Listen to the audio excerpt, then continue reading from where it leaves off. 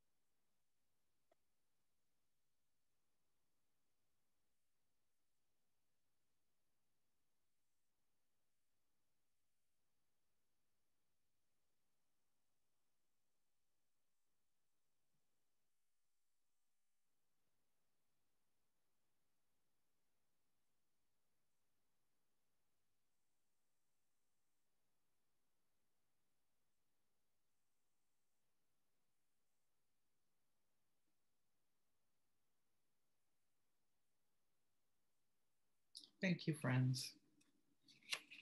I'd like to, well, you've already met Kira, most of you, um, but I'll introduce her again. She's our coordinator of programs and events. And Kira's just going to guide us through some tech and housekeeping info for tonight. Thanks, Nancy. Um, just very quickly, I just want to give a few reminders. Um, if you could keep yourself muted uh, while Elaine is speaking and Nancy is speaking, that would be greatly appreciated. Um, just a reminder to keep the discussion and the chat a safe and respectful space for all. Uh, if you're having connectivity issues, um, I just recommend that you turn off your video. And if that's not working, I suggest that you leave the meeting and then re-enter and I, I'll be sure to let you back in and sometimes that fixes it. Um, I'm not a, a, tech genius, so turning it on and off is, is my suggestion. Um, and just a reminder that this, for those that have joined us since Nancy said it, um, this evening is being recorded for the Quaker Archives and for folks that are not able to join us tonight. So if you do not want to be recorded, please turn off your video.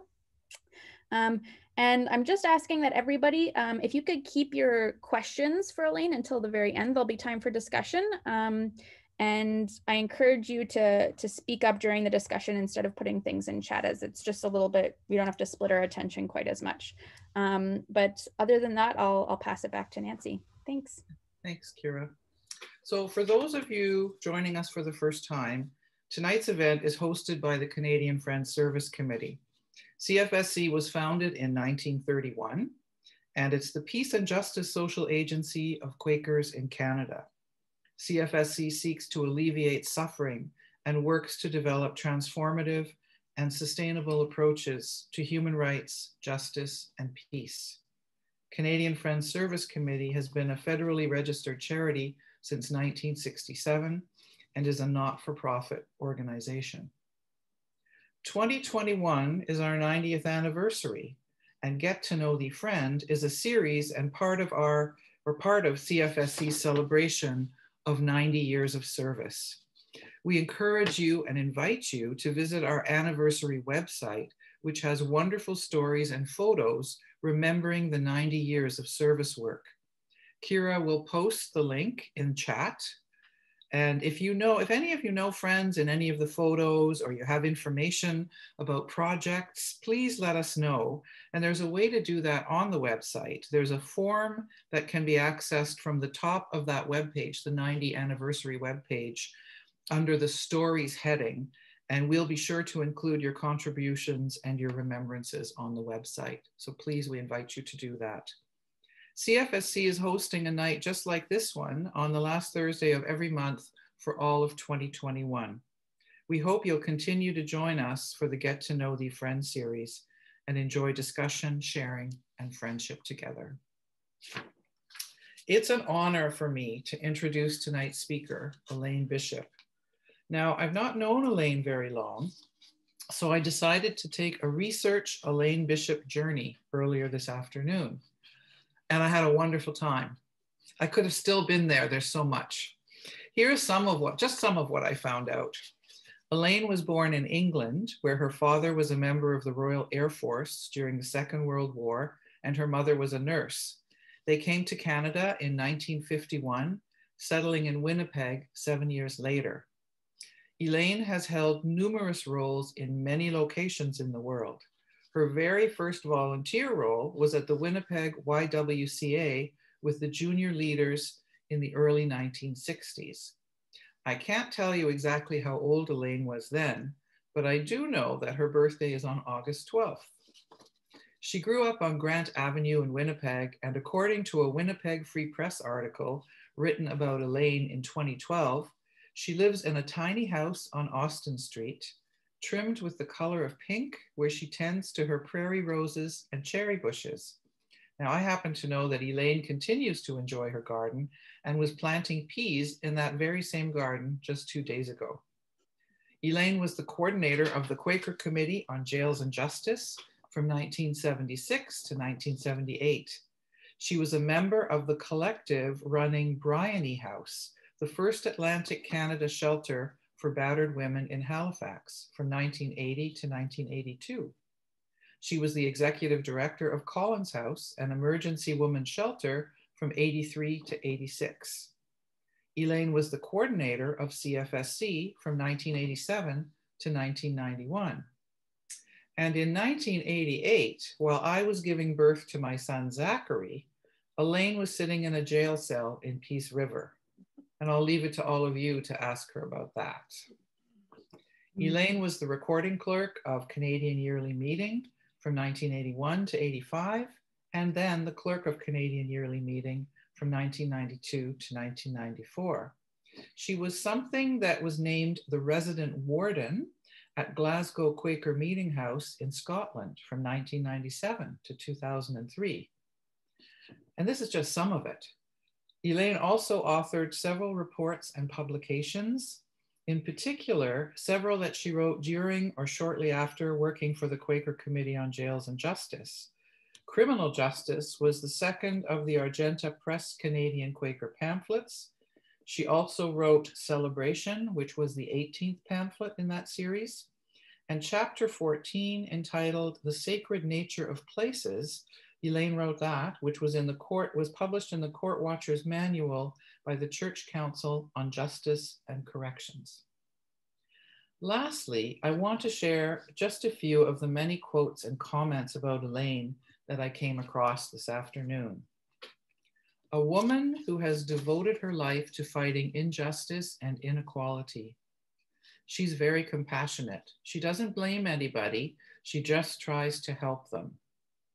Elaine offers an island of safety. This one really made me smile. She's more productive than a platoon of police officers. and what's really significant to understand about Elaine is that her Quaker life and her service and what she does in her personal life are all blended together. It's what we hold in high esteem in the Quaker community. So as Kira said, we ask that you hold your questions and comments to the end. And again, it's such a great honor to give you Elaine Bishop. Elaine. Well, good evening, friends. And Nancy, thank you for that very fulsome introduction. Um, I told Nancy as we were getting together at the beginning that I've never Googled myself. I had no idea that that was all on the web.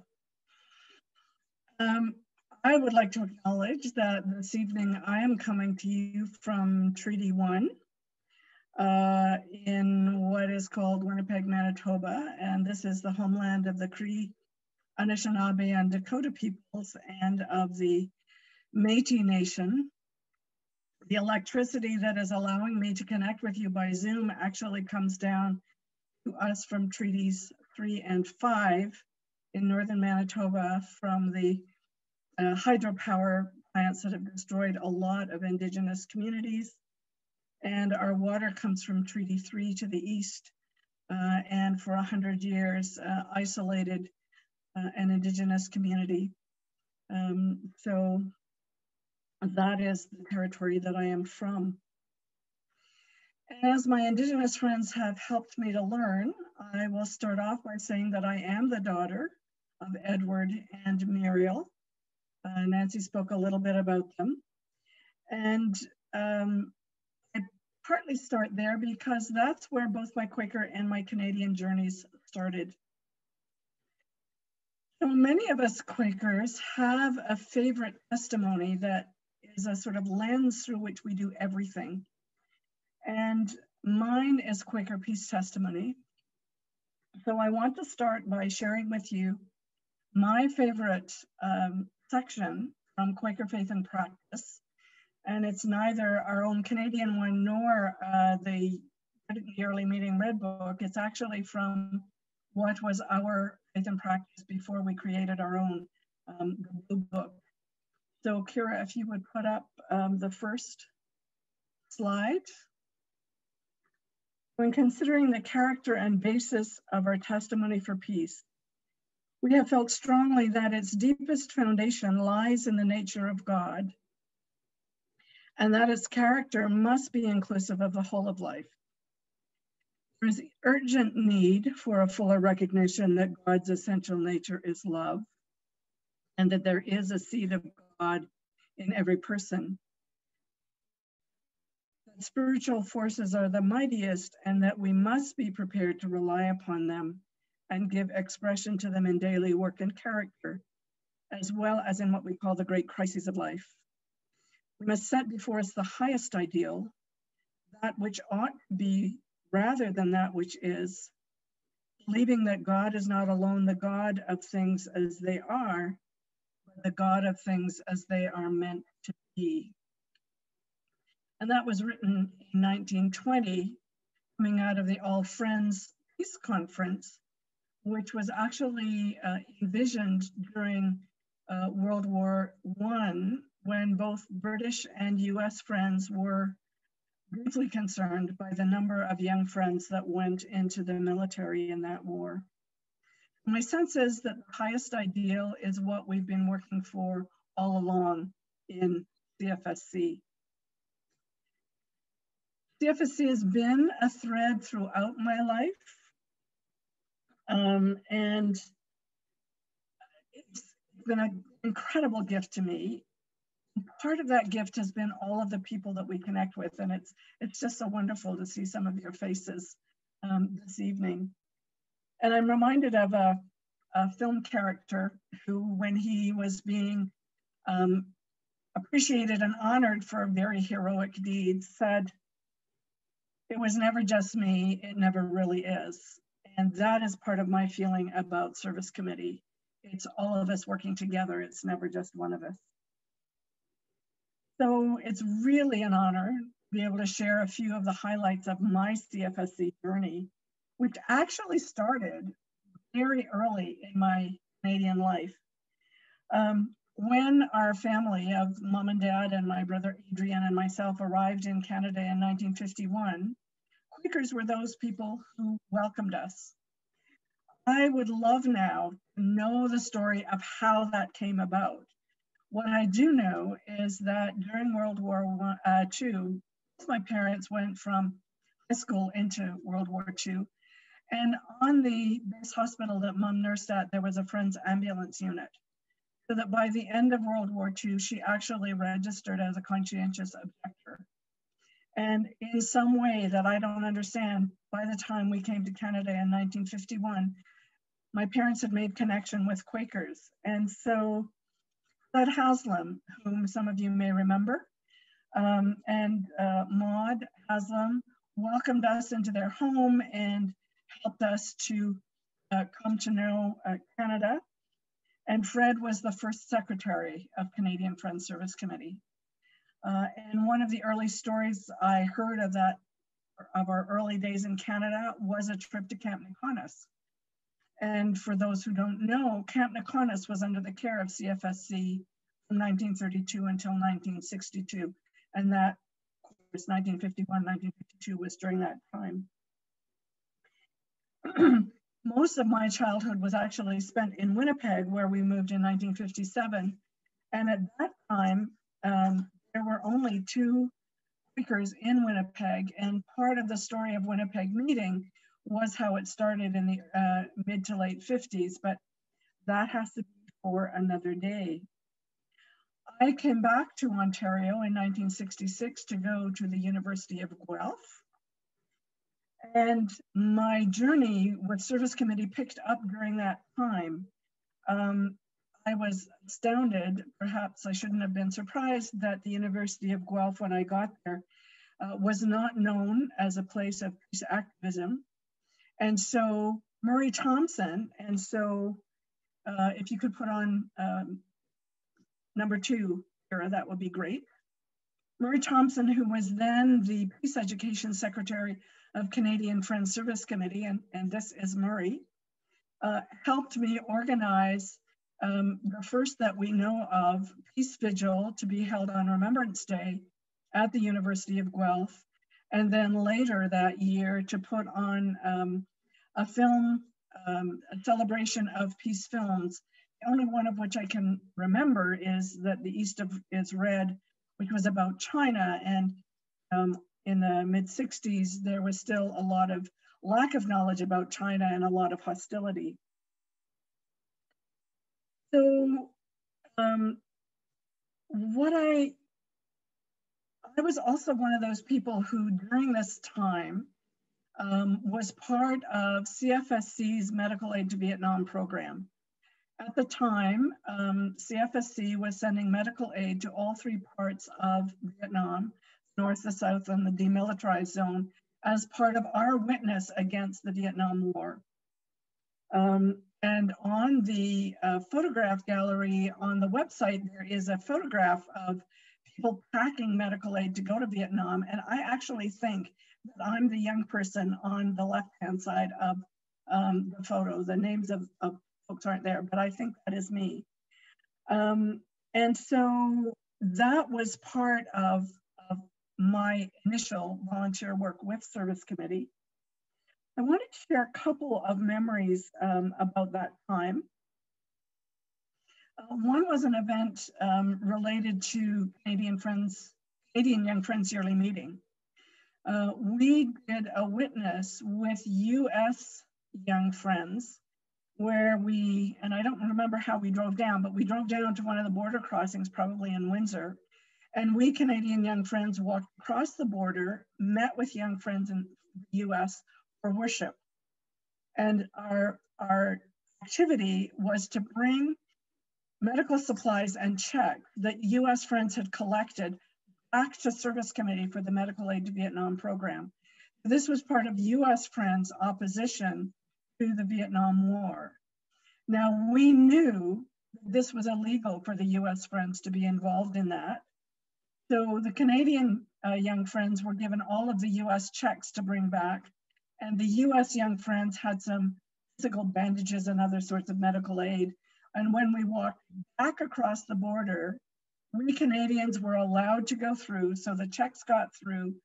US young friends were stopped, the medical supplies taken from them, and they were then allowed to continue on to come into Canada. We continued to um, Friends House in Toronto, where we worshiped again and delivered those US checks to um, Medical Aid to Vietnam uh, program.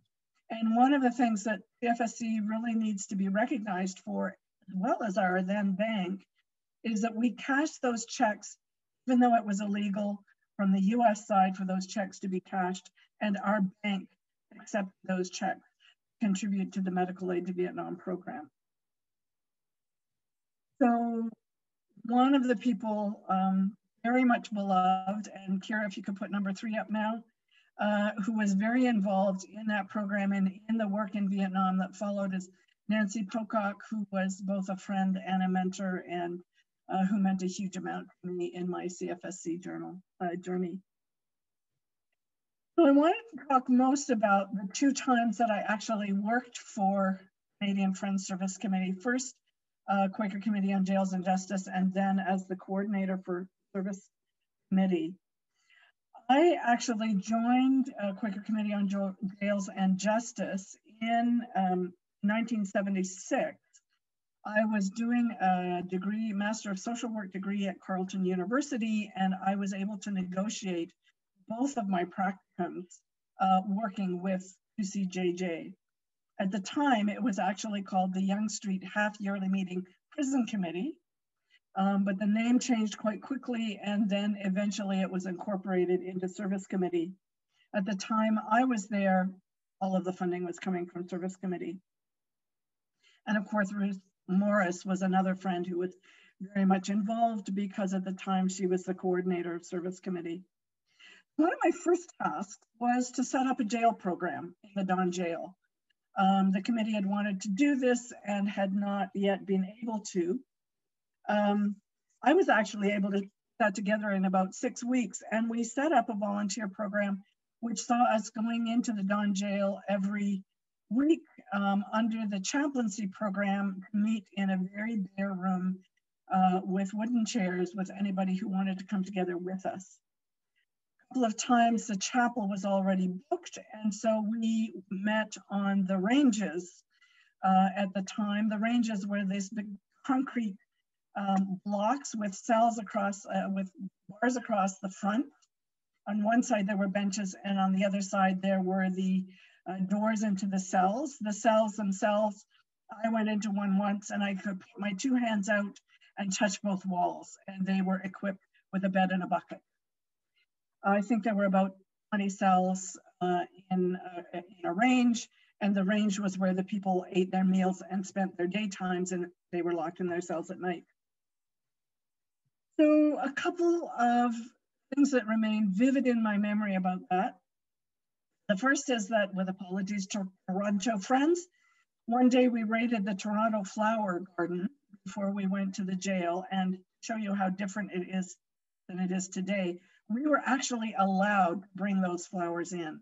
We gave some to the guards. We took the rest up to the, cha- uh, to the chapel.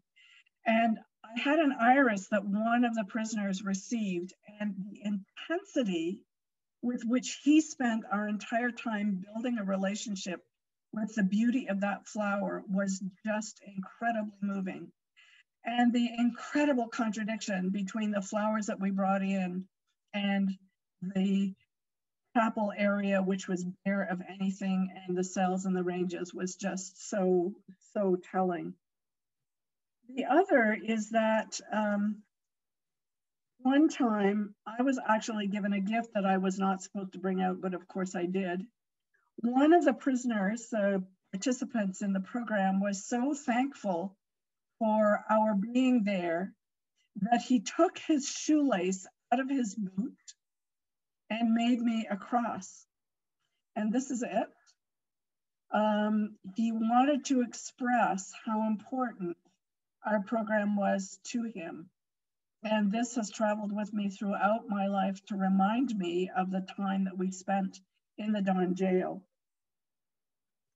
So once we experienced the jail, not surprisingly, we needed to do something about it because we saw how damaging it was. The people who were in there, the people who worked there, and to the people in the community because it wasn't resolving community conflict. So we did this work in collaboration with some friends in the United States, and they resourced us with a book called Instead of Prisons. I would have shown you what that looked like, except that my copy has gone visiting and it never came home. But it had a five part program that actually was a penal abolition program that we started uh, using in our work. And the five parts were stop building prisons. We have them, we fill them. Develop alternating sentencing models so that we don't put people into them. Adapt those sentencing models, get those people who are already in prison, because we know that the longer people are in prison, the less likely they are to be able to uh, reconnect with society once they get out. Find effective and compassionate ways of working with the perhaps 10% of people in prisons who actually are a danger to themselves and to others. Minimally, that should do no harm and hopefully it would help them to heal. Uh, and finally, transform society into one of justice and equity. So one of the uh, educational tools that we developed uh, is that we built a mock-up of a Don jail cell. And this was in the mid 70s when there were community fairs all over the place. And we would haul this on a trailer behind my little Civic, Honda Civic, um, to these community fairs and we would invite people spend time locked up in these jail cell in the jail cell. And one of the people who really supported that, and Kira, the next picture, please, was Arthur Clayton, who will also be remembered by some friends here. And Kira, if you could put the next photo up. Uh, this is our mock-up jail cell, and this is Arthur locked in it. And this was at Canadian Yearly Meeting in Alma, Ontario. Um, we also did a, lot of court watching uh, because the evidence had been that when you actually have observers in the court, the standard of justice tends to improve. Um, and my master's uh, project, uh, instead of a thesis, was actually to develop um, a court watching manual so that people could do some background work. And when they went into courts they knew the languages they knew what was going on and they could be much more effective in um, noting what was going on. I have to confess i find it really discouraging that here we are almost 50 years later still doing needing to address many of the same sorts of issues we were addressing in the mid 1970s um, our federal penitentiary in Manitoba is Stony Mountain. It's mainly 80% full of Indigenous men, many of whom are survivors of the child welfare system. Uh, it is one of the most dangerous prisons in Canada, and it's recognized that it's generally run by um, gangs. Uh, and uh, there's recently been some exposes again in the Winnipeg Free Press um, one of the things that I have from mom, Muriel, is um, a, a, medal that she received from the Correctional Services of Canada for presenting on domestic violence. And I am planning to send it back to the responsible minister uh, asking what they intend to do to change um, situation at Stony Mountain. So I left QCJJ when the time was right for me. Uh, and as you know, it's developed and Nancy is now the wonderful staff person for that work. Um, I moved into various parts of Canada and did various bits of things and came back uh, to Toronto in uh, 1986, uh, having registered at York University to do a Master of Environmental Studies. Uh, under that program, you could study just about anything, and it was environmental, and I was looking at international development and women's spirituality.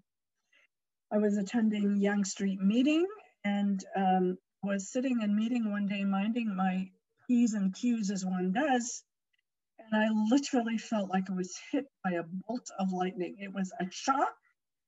And the message I get was apply for that CFSC coordinator's position that is empty now. I've been telling you to do it. You've not been listening.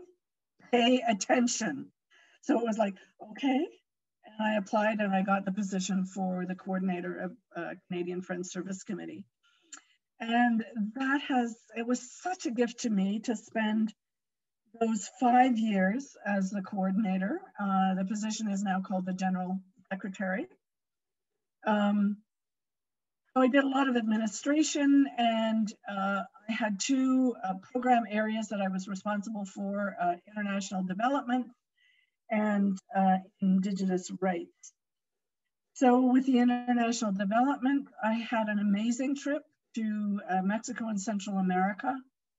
I stood with Mexican uh, peasants tasting honey on the spoon that went around the circle um, of their uh, honey cooperative, uh, listening to this project supported by SEDEPAC, one of our partners.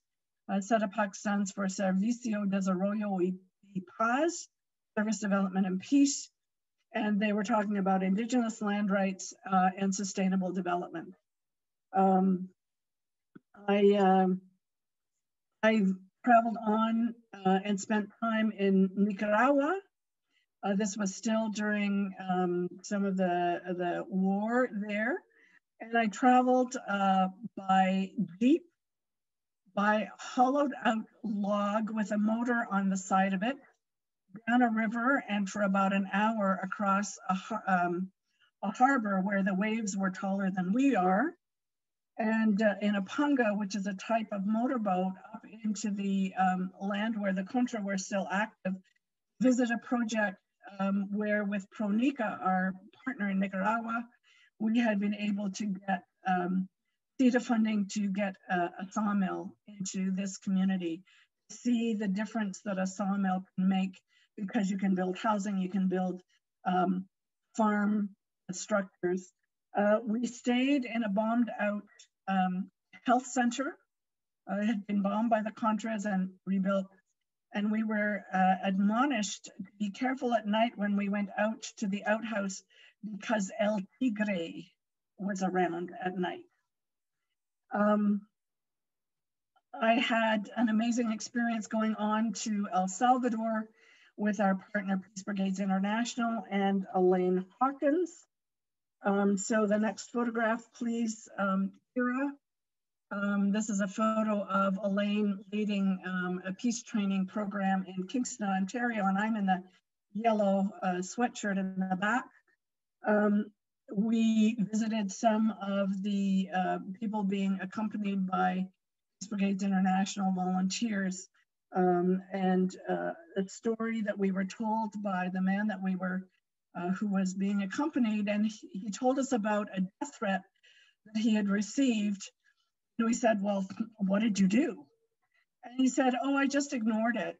They said that they would kill me within two days, but the postmark was six days ago. So I figured I didn't need to worry. Um, and that sort of, I mean, what courage. But the international work and the Indigenous rights work became too much. So uh, we hired Susan Reeser. So the next picture, please, Kira. Susan became our international development worker. And this is a picture of Susan and Ian Atack. Ian at the time was the administrative uh, worker and Susan took over the international development work. And when I was going through the um, photograph gallery, I found at least seven photographs, I think, with Susan in it. So have been able to, um, uh, was a big cat, not a man. Somebody asked me. Um, so I then focused on uh, Indigenous rights. I had been asked when I joined a service committee to choose a special ministry that was going to be particularly important to me. And I chose Indigenous rights. Um, Betty Peterson, next photo please, uh, had been our representative on Project North. And Betty asked me to uh, take on the Indigenous rights work, which I did, feeling really privileged to do that. Um, Betty um, had, as I mentioned, been on our, our Project North representative. Project North was the ecumenical coalition working in solidarity with Indigenous peoples. And it was in a process of uh, self-destructing because of conflict. Um, so I was at the meeting with Indigenous leaders and chiefs when um, Project North announced that it was going to be uh, laying itself down. And the response from the chiefs was, well, if you have to do it, do it, but do it fast because we need you at the barricades with us. So I was part of the uh, ecumenical group that reformed over a year and created the Aboriginal Rights Coalition Bracket Project North.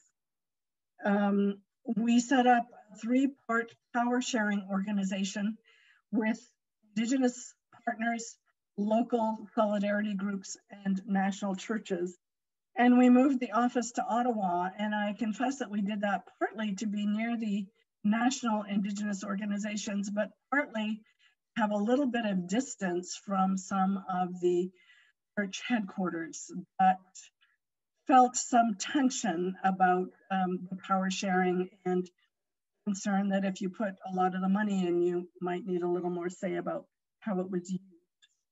So some of the highlights of my time with ARC, I was elected as the first uh, chair of the board of the Aboriginal Rights Coalition. I was part of a church delegation to the James Bay Cree while they were fighting against getting their rivers dammed up. Um, we went there during the spring goose hunt. I was towed for three hours over the pack ice of Hudson Bay, and I have never been so cold in my life um, the guy who was on the um, skidoo got at least the warmth from the um, from the engine. We stayed in a goose camp um, for a number of days, uh, which was an amazing experience in a white tent, sleeping about 11 people to a tent on spruce boughs, um, and uh, learning about the lifestyle. Unfortunately, the geese were late that year, so I never got to try roast goose. Um, we also saw uh, on our way back one dam that had already been built to divert two major rivers into a third river and saw some of the devastation to the indigenous way of life. The water, of course, became polluted with mercury leaching out of the water and the fish that were part of the lifestyle were uh, not going to be safe to eat for something like 70 years. I traveled in solidarity with my Anglican colleague, Peter Hamill, uh, to as close as the military would let us to Kanesatake Oka uh, during the Oka crisis to express our solidarity with the, with the indigenous people. I was one of the presenters to the Royal Commission on Aboriginal Peoples that ARC presented. And um, so if you could put the next picture up, um, Kira, this is the uh, cover to the short uh, report. And if you haven't looked at it, it's an amazing 20 year model that take us from where we were then to justice to indigenous peoples, including being funded out and telling us how much money we would save at the end. Um, and one of the senses that I feel very deeply about is that we could not figure out how to course, encourage, present. We, uh, as allies and the Indigenous people leading the struggle, get the Royal Commission uh, implemented. It was shelved with indecent peace. Um, And I visited the Innu during their resistance to um, the NATO base that was being proposed for their land. Uh, again, spending time out on the land, seeing and hearing about the destruction of the low level flying, what it was doing to the migration paths of the caribou that was central to the Innu's uh, lifestyle, and supporting and witnessing the Innu who would cut through the fence and go and march along with a cross in, on the runway to prevent the jets from landing. Um, I mean, an incredible witness of nonviolent uh, intervention. Um, during that time, the big uh, witness of Canadian yearly meeting was our standing in solidarity with the Lubicon Cree Nation when they blockaded their land. Uh, this was in 1988. We actually had yearly meeting that year in Lacombe, Alberta. And um, the chief, Bernard Ominayak, and one of his elders came down to invite us to stand with them when they blockaded their land in uh, the fall of that year. So three of us, um, after the discernment of the yearly meeting, were asked to represent the yearly meeting at the Lubicon blockade. And um, if you can put the next picture up, please, Kira. That's Jack Ross, uh, Betty Peterson, and myself, and that's Betty facing us in the white and Jack in the hat. Um, there were other friends who talked about coming with us, but we insisted that everybody who went on the blockade should do nonviolence training first. We did two nonviolence training events. Next picture, please. The first one on Toronto Island. Uh, and so this is um, that event you can see Ian Atack in the blue, Frank Showler in the red uh, in the middle just by the uh, CN Tower, uh, Colin McMeekin, D. Peterson in the pink, uh, I'm in the blue and Elaine Hawkins is in the white. Um, and then we did another nonviolence training at uh, West Yearly Meeting. And as a result of the nonviolence training, all the other people who'd sought to join us discerned that they were not then ready to go into a situation that may result in violence. So it was just Jack and Betty and I who drove up uh, from Edmonton uh, for eight hours up to Lubicon territory. We went early because there were rumors that the RCMP were going to blockade the land. Um, and uh, if you can put the next picture up, uh, Kira, uh, we made posters such as the one that Betty is, uh, is holding here. This was the first day of the blockade. Um, and we uh, camped around the land on four campsites. Betty and I were at campsite two. Um, and by the time uh, the blockade was taken out, it was on the Sunday, on the Thursday, it was taken out by the RCMP. Uh, and we were living in snow and surrounded by uh, ice and snow. So if you can put the next picture up, please. This is Betty um, in the process of being arrested he had actually been asked by the leader on our campsite to clean up the road and the uh, arresting officer was not willing to accept. You can see that she has the cups in her hand. I had already been picked up and taken into a police car. And on the back at the left there, you can see a man in battle fatigues. He had face paint and he was holding a submachine gun. Um, I have to say, I was stunned that in Canada, a country of peace, this level of violence would be used against us. Um, and it's also true that the RCMP gathered Indigenous officers and brought them all together. So it was Indigenous officers facing indigenous, indigenous resistors. Um, the chief's instructions uh, we all, uh, when we were taken to court that night after spending the day in jail, we were taken out of the blockade about seven in the morning. Um, we all agreed to recognizances not go back onto the blockade. Uh, and the next day, the premier and the chief negotiated uh, a settlement.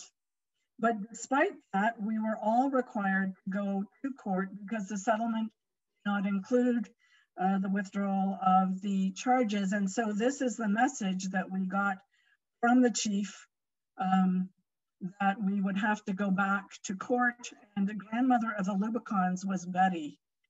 Um, we were considered um, the Rambo Quakers with the Lubicon sense of humor. Uh, and there was a little article on in the paper, in the Edmonton paper, shortly after we were all arrested, in which the chief at a community meeting said at the end of the meeting, things are really serious. They have our Rambo Quakers. So we did go to court. Uh, neither Betty nor I, the charges were not uh, pursued against us. Um, the first person arrested, uh, a Lubicon member, was tried and convicted and fined and never paid fine. And the agreement with the Lubicon was never implemented. Um, and so that event with uh, yearly meeting has been a critical part of my CFSC journey, and it is still part of CFSC's journey um, with Indigenous rights. So when I left Service Committee, I was incredibly grateful for the work that I've been able to do because the Indigenous rights work that I started has been part of my journey uh, right through until now. Um, so after leaving Service Committee, I spent four years um, after doing a year of education, uh, getting my um, Bachelor of Education degree, spent four years working on the land with the Lubicon, um, doing all sorts of work with the women, with the youth, um, uh, supporting the chief in the negotiations in any way I was able to. Um, I was so angry after that work because I had seen the duplicity of the Canadian government in my name, that I have to leave Canada. And I went and spent some time in um, England and Scotland. That resulted in seven years of my working with Ben Pink Dandelion, whom some of you know, on a PhD thesis called um, Quaker Peace Testimony on Land, a challenge to Quakers. Uh, and that was such a gift to spend that time with Ben. When I returned in 2004 uh, to Winnipeg, I started following up on one of my visions coming out of my PhD work uh, and am now still working uh, with a small group of um, people. Uh, and if you could put the next picture up, please, Kira. Um, we are creating, uh, with the direction of elders, uh, a reparations-based organization uh, which is working with settlers and newcomers around what it actually means to be a good treaty member. We live on treaty territory. The um, Manitoba Treaty Relations Commission, um, with whom we are collaborating, and in fact, that's where this picture was taken, uh, at their, they used to have us meet in their meeting room as long as they were in Winnipeg. Um, and had a, a, campaign called We Are All Treaty People, and that is where the name of our organization came from. And so um, I continue to be connected with Service Committee by being uh, a member of both the um, associates both for the Quaker uh, Indigenous Rights Committee and the Criminal Justice Committee. And so uh, stay involved and connect with them um, and uh, liaise with them. So I wanted to start, uh, to finish rather, by um, reading a poem. And if you could put the next uh, slide up, please. Sarah. This is a poem that was published in a book of poetry with both an Indigenous and non-Indigenous poet writing a poem for every article the United Nations Declaration on the Rights of Indigenous Peoples. Lyla June is the author of this poem. She's an Indigenous woman. And this is the one that speaks to me. This is about Article 2, which talks about um, the rights of Indigenous people to be respected as all other rights. The old ones say, Creator writes your rights in the pages of your life. Read them in the stars. Listen to the voice of the earth when the snow melts and all the soil exhales. She will help you understand. You have no rights, but the right to choose love or choose fear. My response to Lyla June's poem is we always need to be choosing love. So that's me. It's part of my journey. Um, and we're now moving into the time for questions and conversation. And I thought as a transition, um, would share with you one of the photographs that I brought away of the CFSC committee in March 1991. And I thought people would enjoy looking for friends and uh, possibly see themselves in this photograph. And it seemed a nice way to transition from my talking to yours. So Nancy will now take over and moderate for us. Thank you so much, Elaine. Um, so I don't know if if um, if anybody is here that either was in that photo or recognizes people in the photo. If you feel comfortable speaking up and maybe giving a remembrance of that, I invite you to do that. Is there anyone here that was in the photo? I wasn't in the photo, but I recognize Steve Abbott, lower left, and Paul Van Goosen, lower right. Vince Hugh, Hugh Elliott, just behind Nancy Pocock. Vince Alazzio the lower right. Yep. Oh, that's Vince. oh, okay. Sorry. Vince is here. Yeah. Horvath is standing next to Nancy Pocock. Yes. And Keith, are you there? Is that you behind Nancy? Who's that with? No, up behind two rows up. Is that you on the left, Keith? Maddock? In the yellow, you mean? Yeah, the yellow shirt. Frank Showler is behind the person in the yellow shirt. Yeah. And Phil Esmond is in the bright yellow shirt. Uh, Jo Vellacott standing next to Betty Peterson. Sylvia Powers at the far end there. So lots of uh, lots of great folk.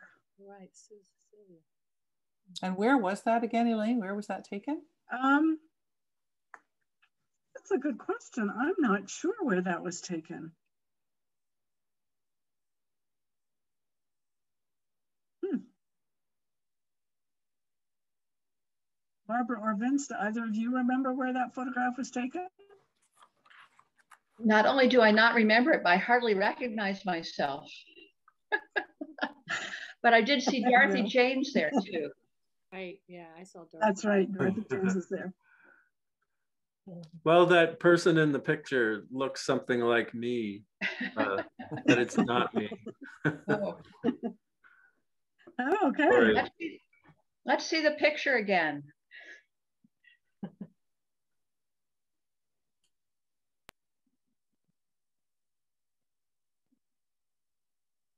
The one that's not Vince, I that's who I thought was Paul Van Goosen. Yeah.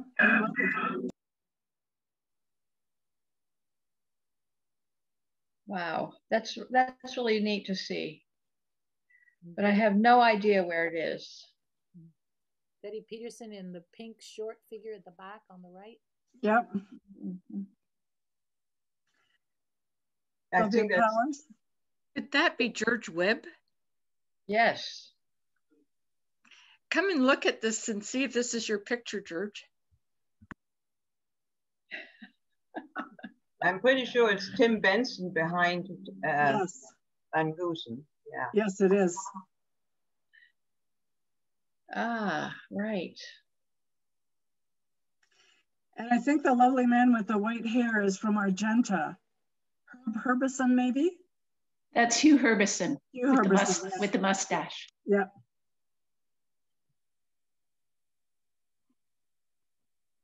and Michael Miller next to Nancy. Um, last name escapes me at the moment. in the second row above Steve. Yes, Michael Miller. Yes, I knew he looked familiar. Hmm. Anybody know if you go back from Michael Miller, who the young man is with looks like a mop of black hair? Might, maybe he was a CFSC young intern or something. He looks really young. Yeah, no, that that was before we had interns, I think. So.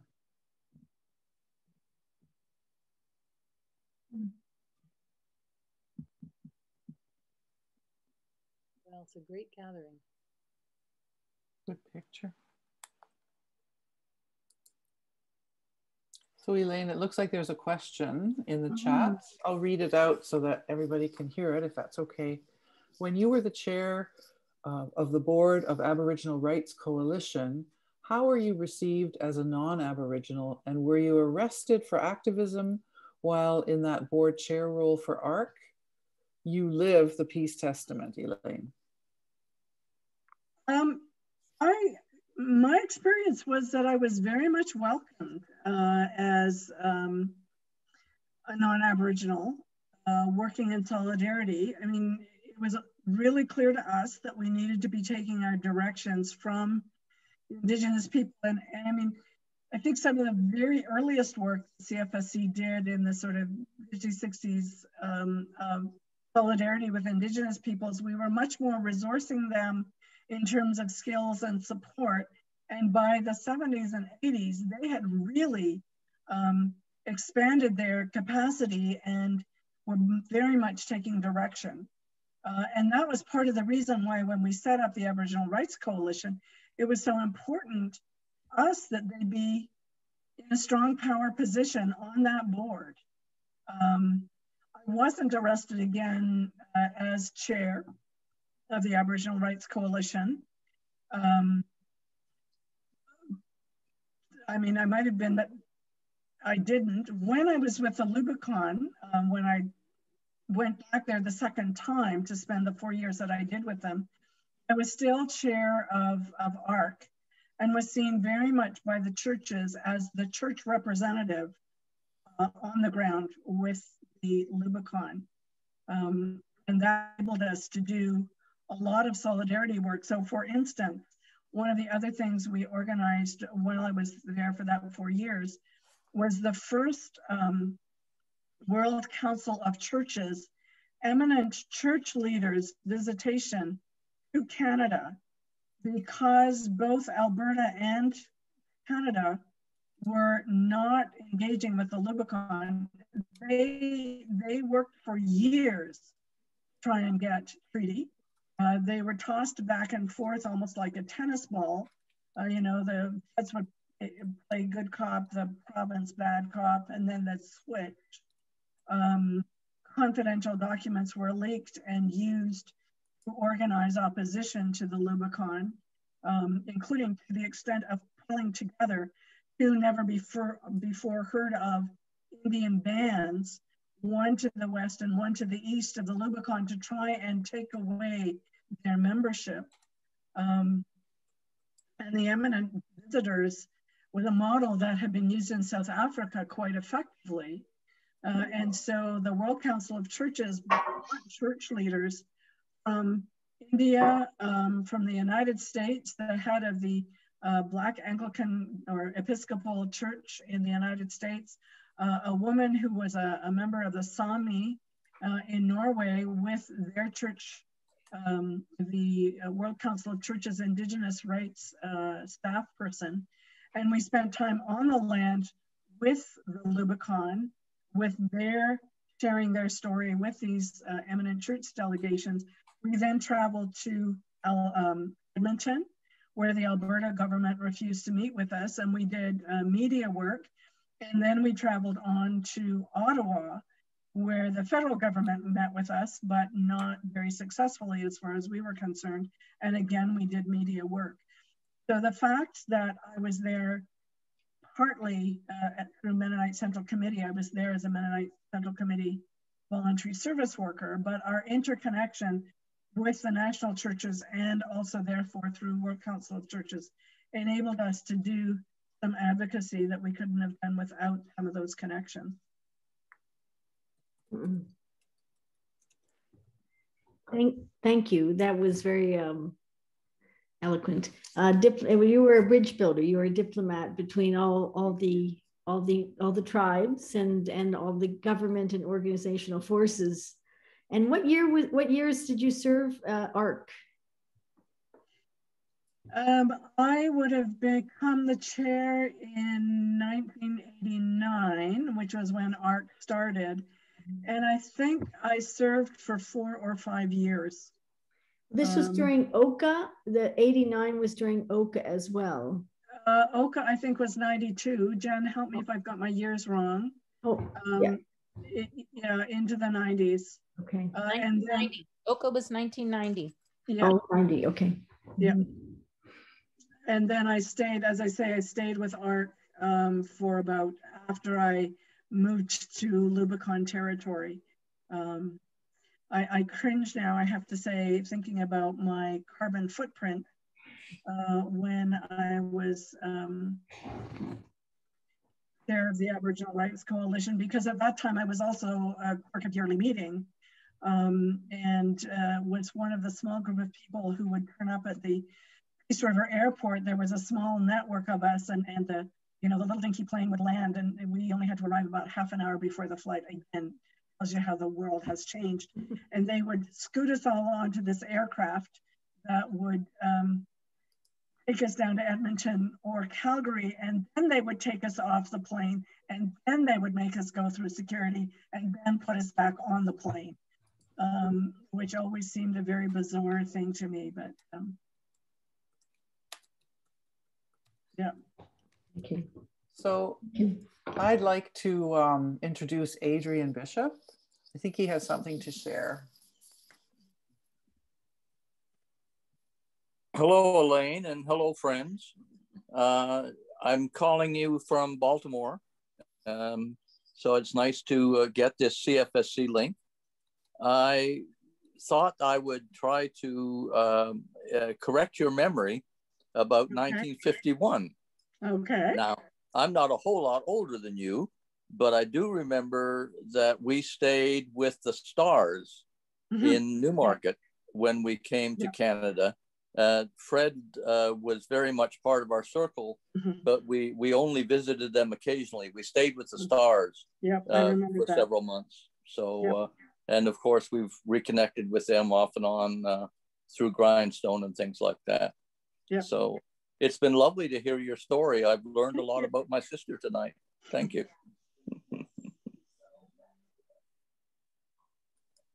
so we have another question in chat, Elaine.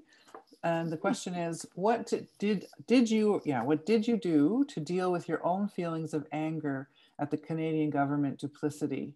You went to the UK, you worked with Ben Dandelion, question mark. So um, I I did a number of things. I mean, first of all, I left Canada, which I think was actually really important because I was getting the sense that it was increasingly hard for me to stay nonviolent. Uh, and with my commitment to um, Quaker peace testimony, um, I needed distance from, from the situation. Uh, I was uh, uh offered a free term at Woodbrooke Quaker Study Center, which is where I first connected with them. And uh, during that time, I learned of an 11 week intensive conflict analysis and intervention program that was being run at Woodbrooke by a Quaker organization calling Responding to Conflict. Um, and I was able to raise the funds to take that program. So I was one of 28 people, um, most of whom English was a second, third, or fourth language, although the course was in English, um, half of whom were coming out of Africa and about 25% of whom were coming out of hot war situations. And we used our the situations in which we'd been in conflict as the content to practice the conflict analysis tools um, and the interventions that we were learning about. So I did a lot of processing during that time, which was really helpful. But I also, by working and, and getting to know Ben and taking one of his courses, learned about the opportunity to do a PhD in Quaker studies. And so um, I put a proposal forward that Ben strongly supported, uh, and he was my key, uh, my primary advisor, looking at the whole area of Quaker peace testimony and land. Because my sense was, although a lot of work has been done on Quaker peace testimony, nobody has really intentionally looked at land, particularly in the context of Indigenous rights. Um, I used Canada and Scotland as my two uh, case studies. Um, when I left uh, Lubicon and after visiting my brother Steve in the West Coast, uh, ended up in Scotland, within 10 days, I was in the living room of a Quaker in Northern Scotland, hearing him say, if they don't give us our land and our rights, we will have to separate. You know, and so I came from an Indigenous context where that made sense, and I landed in a Scottish context where it also made sense. And I was interested in how did Quaker peace testimony used by the Friends in those two different locations to address uh, the land rights conflict. Um, and uh, it was such an incredible gift to spend those seven years working. It was a part-time PhD, so that's why it took seven years.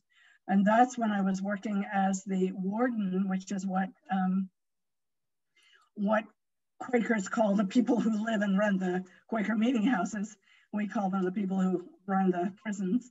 Um, so I was the warden, resident warden of the Quaker Meeting House in Glasgow throughout that time. Um, and that was also really neat because I got involved in some of the peace activities there, and in particular, uh, the movement that uh, Quakers in England and Scotland uh, were developing to invite uh, the British government get rid of its nuclear weapons. It was a process called Trident Plowshares 2000, because the Trident nuclear powered and nuclear uh, missile uh, uh, submarines were all based at Faslane, which is 25 miles from Glasgow. So we were a prime target uh, for any conflict between the East and the West. Um, and uh, of course, you won't be surprised that Britain did not uh, give up its nuclear weapons, but um, we did a lot of activities uh, and actions outside the Faslane um, nuclear base. And uh, for the first few of those, uh, the Quaker Meeting House was where people came after they were um, released from jail.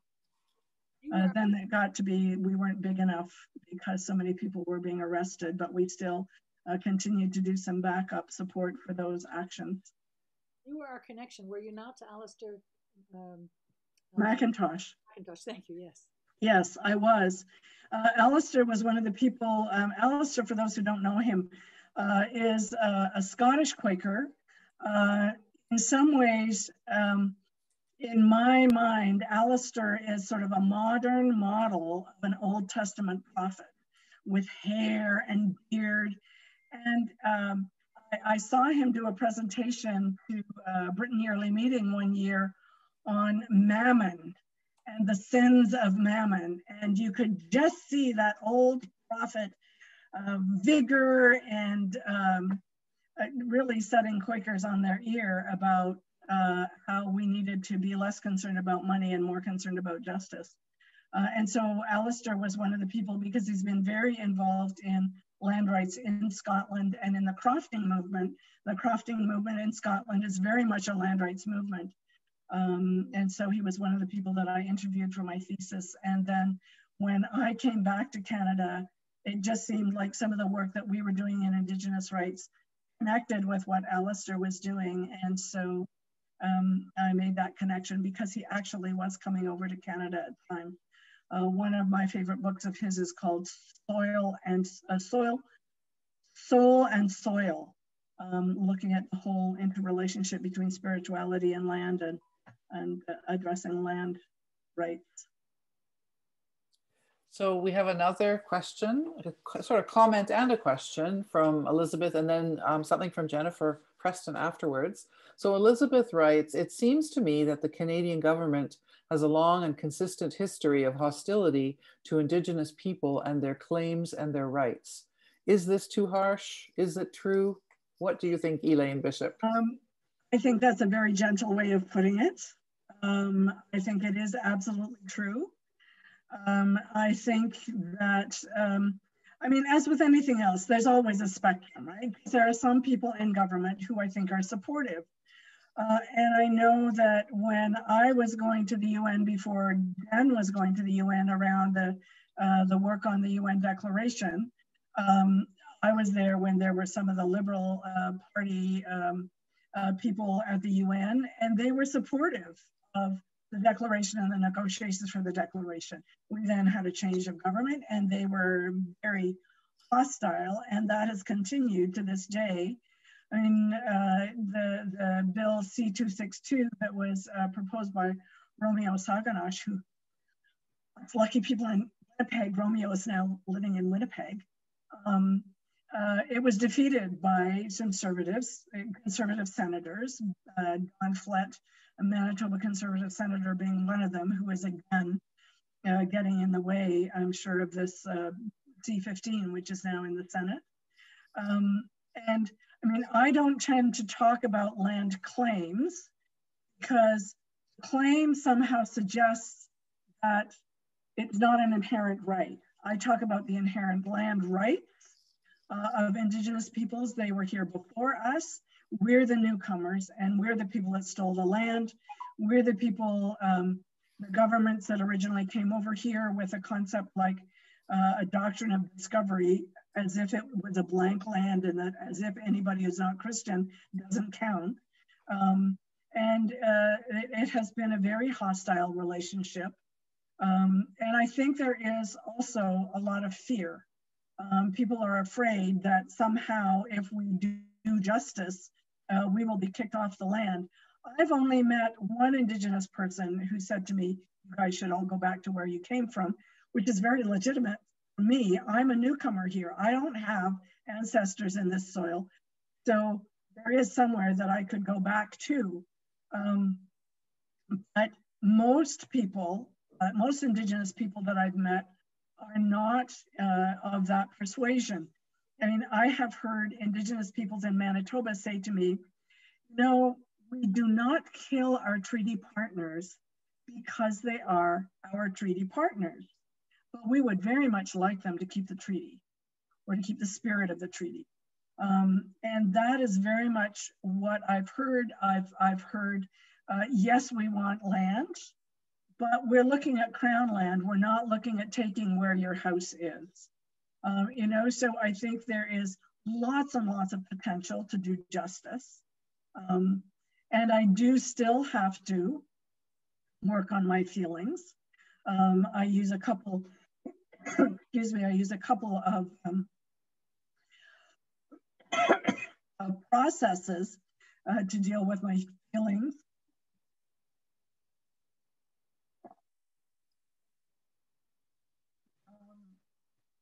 I do a co-counseling session most mornings. and I use a process called EFT tapping because I still get very angry at times. and um, and frustrated because it seems to me, um, I mean, and, and, and RCAP is such a perfect example of that. That model, which would have seen us do justice in 20 years, that would have demonstrated that in fact doing justice saves us money. Um, and and the fact that consistently governments have not done that uh, i still find myself challenged. I do try and pray for them and hold them in the light uh, but i'm sometimes very challenged uh, to do that because i do try and do that on a regular basis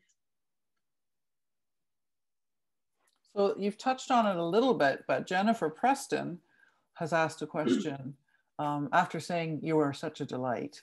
Uh, can you, you, can you tell us a bit more about we are all treaty people? How can we see reconciliation through such such partnerships? So um, it's been a real gift to me to be able to get to know some of the people who were um, and still are uh, working with the Treaty Relations Commission of Manitoba, which is a joint uh, organization of the Assembly of Manitoba Chiefs and the federal government.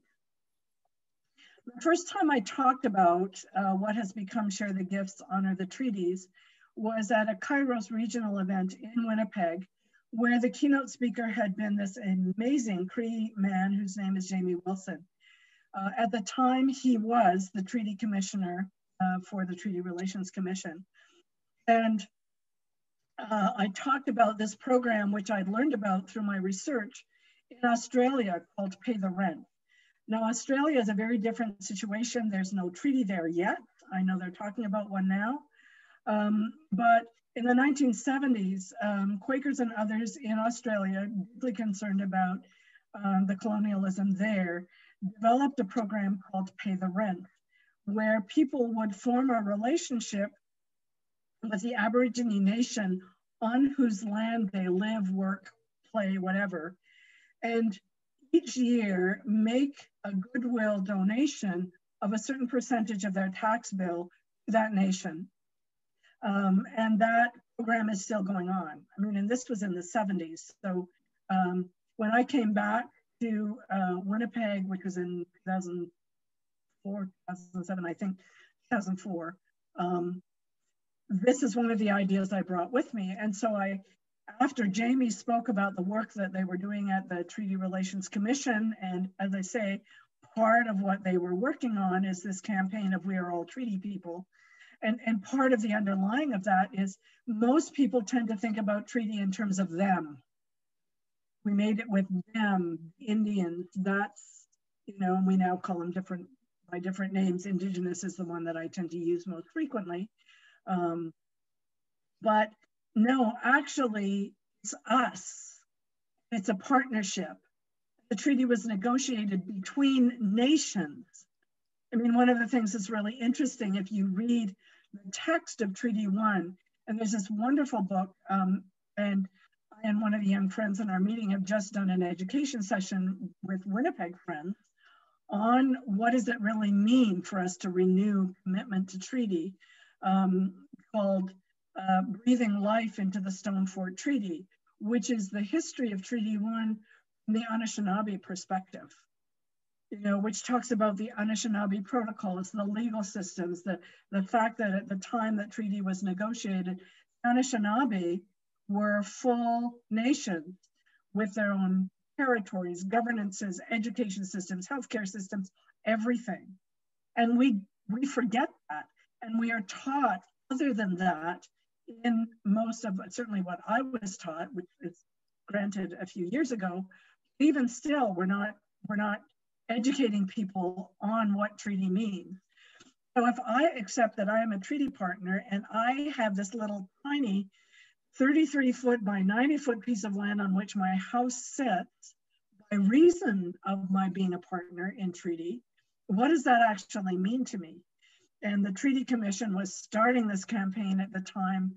Uh, and, and Jamie invited me and those people who said, yeah, we want to start working on this, come and meet at the Treaty Commission offices. And in fact, he organized and, and worked with me on our first elders consultation.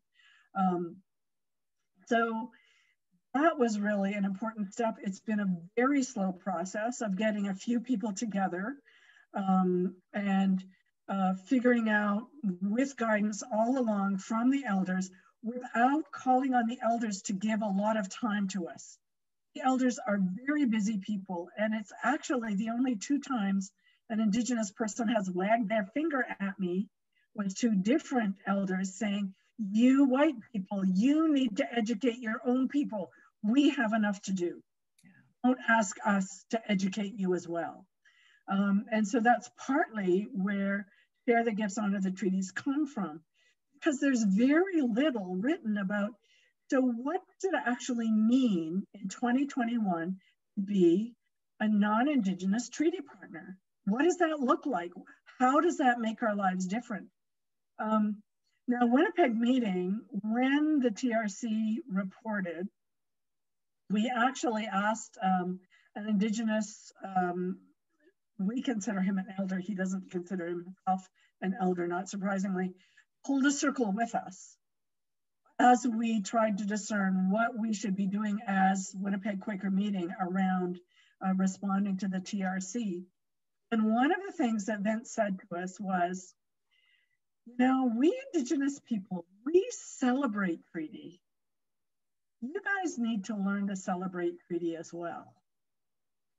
And so out of that came a group of Quakers when we were gathering with a group of Mennonites around Indigenous rights um, at Thunderbird House, which is an Indigenous center in Winnipeg. We talked about the idea of maybe we should put on a settler initiated treaty celebration. And the Mennonites say, You do the planning, we'll bring the food. And so for the past six years, that's what we've done. Although they have actually given us staff time, uh, Mennonite Central Committee Manitoba, their Indigenous Relations staff person is part of our planning committee. And so this year, uh, which is a very special year in Manitoba because this is the 150th commemoration, not celebration, commemoration of treaties one and two that were both signed um, August 3rd for Treaty One and later at the end of August for Treaty Two in 1871. And our people have been the people who haven't kept treaty. And so we are trying to discern what it actually means for us to be members of treaty. This will be the fifth annual treaty celebration. Um, and uh, right from the beginning, we've had entertainment, we've had feasting, um, we've had the treaty commissioner every year has spoken at our gathering. We've held it at a, a space at the Forks in Winnipeg, which some of you remember, not the Oodena Circle, um, which is an indigenous space. We thought this needs to be a non-indigenous space in which we recognize the indigeneity of it. Um, last year, we had to pivot fast, as did everyone else, and we actually produced a very um, moving and wonderful uh, program that if anybody's interested in looking at it, go to the UMFM, which is the radio station of the University of Manitoba. They broadcast our treaty celebration and it is down on their list of special events. Uh, and it included some really interesting conversation between um, Loretta Ross, who is the treaty commissioner, and Michael Champagne, the really well-known young Indigenous activist in uh, Manitoba, and he was our MC. Um, and we had um, uh, Ray Coco Stevenson, who's really well known in the powwow community, um, uh, bring his Walking Wolf powwow troupe. So demonstrating and talking about the different styles of uh, Indigenous dance. Um, this year, we're planning a special commemoration as part of the treaty celebration in which Winnipeg Meeting has already committed recommitting to treaty. And now we're trying to work out with Winnipeg Meeting, but how does that change us? How is our behavior different? Uh, in the same way with, um, oh, thanks, Nancy, that's great. Um, how are we different by making this commitment? how does it change who we are uh, because we are recommitting, continuing the treaty relationship? Um, and we have found, I mean, each year and each time we take the treaty celebration out, uh, we find more people who are um, interested in, and involved. And this year, um, I, am incredibly honored because the Elders Council at the Treaty Commission has taken over the planning for the commemoration ceremony that we said we wanted to be involved in.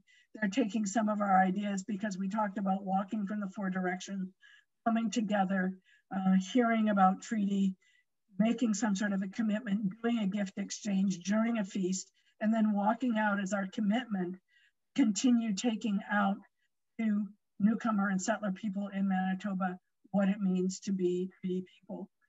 Um, here the gifts under the treaty, we have just launched our website. Uh, it is honorthetreaties.ca with no spaces in honor the treaties. Um, and we are coming up on June 21st.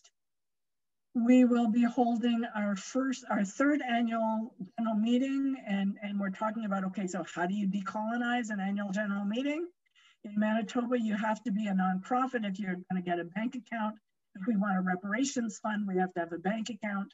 Uh, so how do we decolonize the structures that are set up in, um, in being a nonprofit? Uh, and the fact, um, again, we've, we've um, continued, we continued meeting at the Treaty Commission until they moved out of the city uh, onto a treaty territory. Um, and um, yeah, we're continuing that journey to try and figure out how we actually are really good uh, treaty partners. And certainly that means taking the message out um, and looking at how we get more and more people in uh, the Treaty One territories. Um, over time, we will hope to expand to other treaty territories in Manitoba and across the country. I mean, and what we're saying is like, if you want to do this in, in your treaty territory, take it and everything that we've done, you can use freely and adapt it to your situation. And also adapt it if you're in a non-treaty situation. I mean, the pay the rent in Australia is non-treaty. Um, so yeah, it, it's a journey. Wow. Elaine, I'm looking at the time and I'm also hearing that your voice is sounding a little bit tired out, a little bit raspy. So you might uh, you might be ready to to um, to end the the talk. Are you? Well, as people who know me know, I will talk about this stuff until you're blue in the face. Um, so I'm always delighted to have um, have more questions. Um, and I mean, the journey continues. We're we're not finished. I mean, we'll be back again um, the end of next month with the next one of these events, which I think is Jen. It is Jennifer um, Preston, yes. Which I'm really looking forward to. So me too. Um, yeah, the journey continues, and um, we can finish when people are ready to finish, which could be now if that's where we need to go. Does anyone else have a, a last question or a comment they'd like to make before we stop? And can I just say, Becky, um, I just Googled pay the rent and it usually comes up um, from Australia. I don't know if you can see this. And if you can, it's backwards, it's mirror image. This was published in the uh, Toronto monthly meeting newsletter some time ago. It's a photo that Keith Maddock took. Somebody put up in High Park uh, a light switch and screwed it to a tree. And at the top of the switch, it says love, and at the bottom of the switch, it says fear. And when I saw that, I thought, that's right. The opposite wow. of love is not hate, it's fear. Mm. And wow. of course, the switch is up. Mm. Mm. Mm.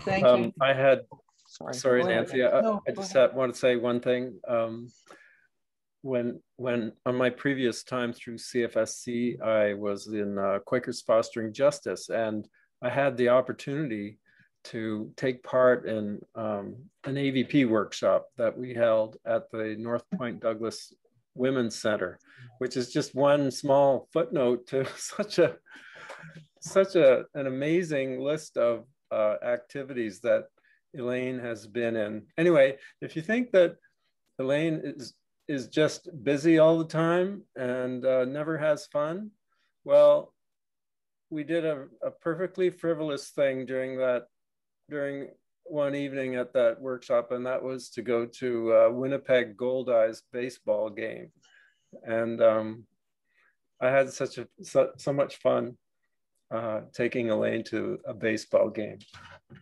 with uh, a couple of other people who were at the workshop.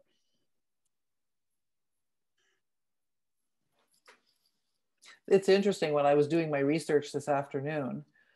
There, there are little stories like that peppered here and there. And there was one on a, some sort of a road trip, Elaine, that you went on.